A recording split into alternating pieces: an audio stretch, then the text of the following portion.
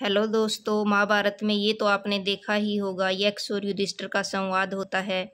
यक्ष युधिष्ठर से कुछ प्रश्न करते हैं और युधिष्ठिर उनके उत्तर देते हैं। इससे पहले और बाद में क्या हुआ, वो तो सब जानते ही हैं।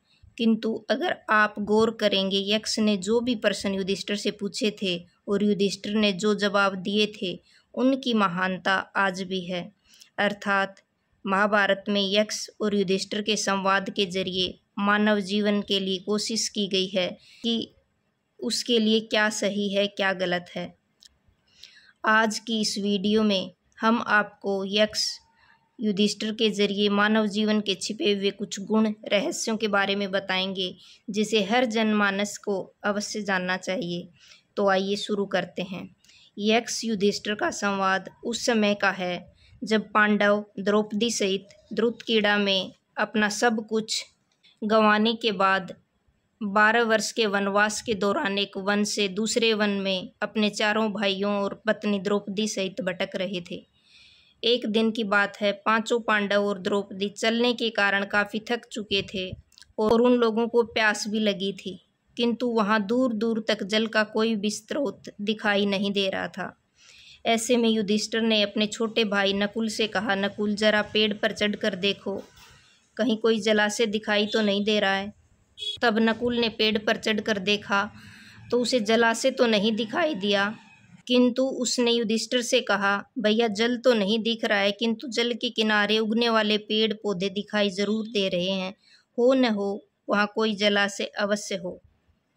तब युधिष्ठिर ने कहा, नकुल, तुम जाओ और जाकर देखो, अगर कोई पानी का स्रोत मिलता है तो पानी ले आओ। अपने ज्येष्ठ भाई का आदेश पाते ही नकुल जल लाने चल पड़े। और दर्शकों, उसके बाद क्या हुआ? ये तो आप सबको मालूम ही है। अब एक के बाद एक सभी भाई पानी लेने जा चुके थे और लौट कर नहीं आए। फिर युधिष्ठिर अपने भाइयों की खोज में उस जलाशय की ओर निकल पड़ा।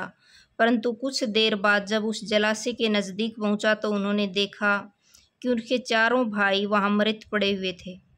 ये देखकर वे शोकाकुल हो गए। उन्हें ये भी विचार आया कि ये दुर्योधन की साजिश ना हो। हो सकता है कि उसने इस सरोवर के पानी में कोई विष मिला दिया हो, अर्थात गांधार नरेश शकुनी का ये कोई करा धरा हो। फिर उन्होंने इस सरोवर के पानी पीने का निश्चय किया और जल में उतरे। पानी में प्रवेश करते ही उनके कानों में आकाशवाणी सुनाई दी। एक बगुले ने कहा कि, मैंने तुम्हारे भाइयों को यमलोक भेजा है। यदि तुम भी अपने भाइयों की तरह मेरे प्रश्नों का उत्तर दिए बिना पानी पीने का साहस करोगे तो तुम भी अमलोक सिधार जाओगे। आकाशवाणी सुन युधिष्ठिर बोले, मैं पूछता हूँ, आप कौन हैं? ये काम किसी साधारण पक्षी का नहीं है, क्योंकि बड़े बड़े युद्धों में देवता, राक्षस आदि भी उन्हें नहीं हरा सके। उन्हें पराजित कर आपने अद्भुत पराक्रम का प्रदर्शन किया है। अतः भगवान, मैं विस्तार पूर्वक आपसे पूछता हूँ कि आप कौन हैं। सामने आए। तब वह बगुला अपने वास्तविक रूप में आ गया और बोला, युधिष्ठिर, तुमने सही पहचाना। मैं बगुला नहीं, बल्कि यक्ष हूँ। उसके बाद युधिष्ठिर उस विशाल वृक्ष के नज़दीक चले गए, जहाँ वह बैठा था। फिर यक्ष ने कहा, युधिष्ठिर, मैंने तुम्हारे इन भाइयों को जल पीने से बार बार रोका था, फिर भी ये बलपूर्वक जल ले जाना चाहते थे, इसलिए मैंने इन्हें मार डाला। युधिष्ठिर, अगर तुम्हें अपने प्राण बचाने की इच्छा हो तो पहले मेरे इन प्रश्नों का उत्तर दो। ये सुनकर युधिष्ठिर बोले, हे यक्ष महाराज, मैं आपके अधिकार की वस्तु को नहीं ले जाना चाहता। मैं अपनी बुद्धि के अनुसार आपके प्रश्नों का उत्तर देने की कोशिश करूँगा। आप प्रश्न पूछ सकते हैं यक्ष ने प्रश्न पूछा कि पृथ्वी से भारी क्या है? तो युधिष्ठर ने कहा, माता, फिर यक्ष ने पूछा, आकाश से ऊँचा कौन है? युधिष्ठिर ने कहा, पिता। फिर यक्ष ने पूछा, पवन से भी अधिक तीव्र गति किसकी है? युधिष्ठिर ने कहा, मन की। यक्ष ने पूछा, संख्या में तिनकों से अधिक क्या है? युधिष्ठिर ने कहा, चिंता। यक्ष ने पूछा मृत्यु के समीप हुए व्यक्ति का मित्र कौन है? युधिष्ठिर ने जवाब दिया, दान। यक्ष ने पूछा कि दान, धर्म, यश, स्वर्ग और सुख का मुख्य स्थान क्या है? तो युधिष्ठिर ने जवाब दिया, धर्म का मुख्य स्थान दक्षता है और यश का मुख्य स्थान दान है।